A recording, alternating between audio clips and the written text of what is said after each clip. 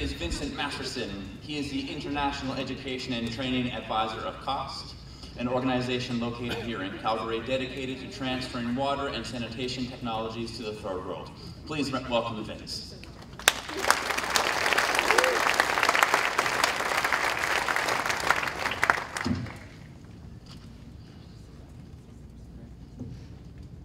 Hi, so I work in international development, and uh, in this photo here, you can see me working with uh, some of our partners in Haiti. And I'm working, I'm working with local trainers on how to develop education materials.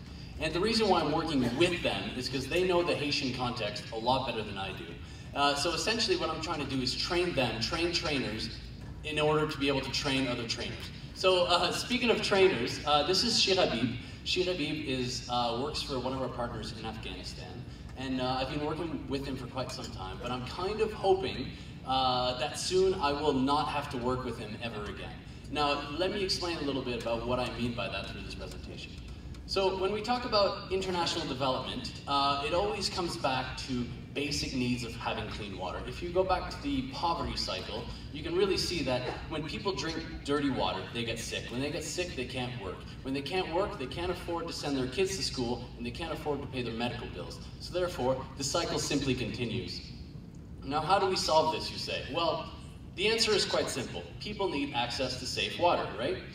But the solution is easy to find. Now, the challenge is finding a sustainable solution that will last for a very long time. We don't want to go in and just give a solution and then walk out. We need to be there for the long term. And um, so we're very good in the Western world of having this, this, notion that if there's a problem, we simply need to build and find an innovative solution. So if people need clean water, let's build a well. Uh, if people need access to education, let's go build a school. However, in five years' time from now, that well, if it breaks, who's going to be there to fix it? And so when we visit uh, developing countries, a lot of times, including myself, you feel a little bit guilty. You know, you see little girls that are six years old that are helping their, their parents doing chores and, and cleaning up water and, and bringing it to the household when really they should be in school. So here, people want to help, and that's perfectly fine. I want to help as well. And, but the thing is, the help that we provide doesn't always have the intended outcome. I know many, many people that will spend thousands of dollars to fly to a developing country to, to try to provide and give some help. However, when you fly to another country and you try to build a school, the consequences of that is you're actually taking jobs away from the local people.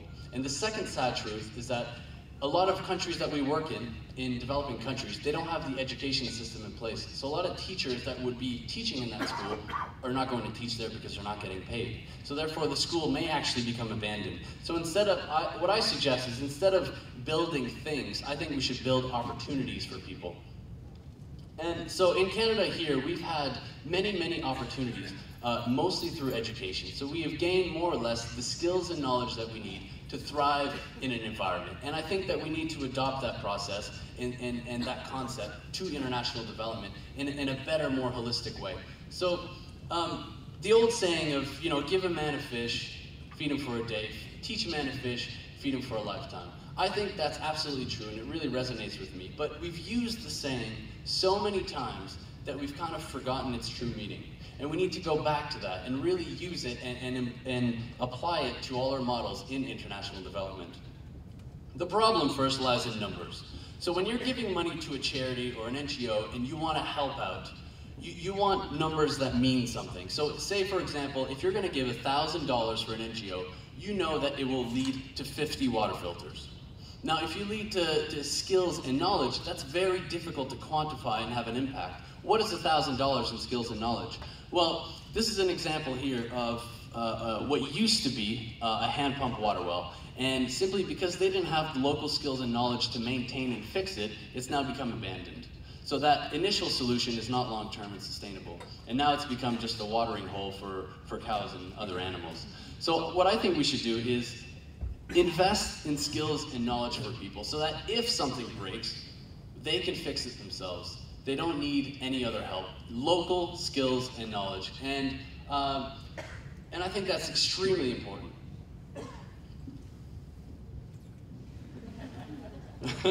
and alongside local skills and knowledge, I really think that we need to have local materials. So in the case, we work a lot with biosand filters. And biosand filters means that you can build the filter anywhere in the world.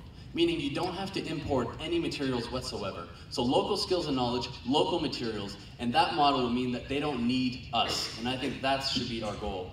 Now this is an example of uh, a woman in Zambia. Her name is Mary Banda.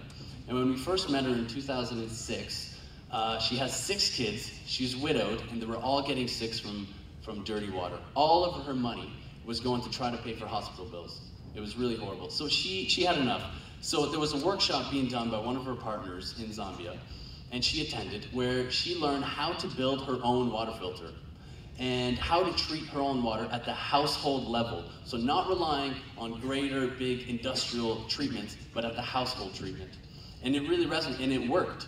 Her kids finally got healthy. Uh, they weren't sick anymore. She was saving money, and she really she was so uh, amazed by this that she wanted to share with her community. So since then, she has built over 5,000 filters and went to 360 uh, households teach them about clean water and sanitation. So that 1,000 bucks to 50 filters really has a great impact in this case.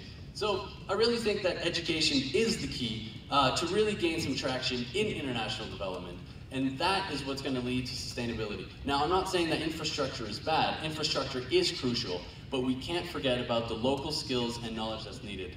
Now, one of my great colleagues, his name is uh, Tal Wosley, uh, great quote. He says, I believe in the inherent capacity of people. I am not here to save anyone.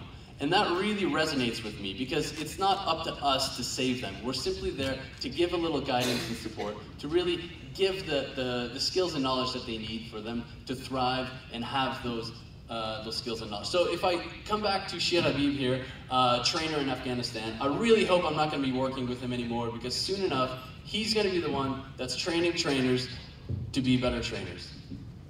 Thank you.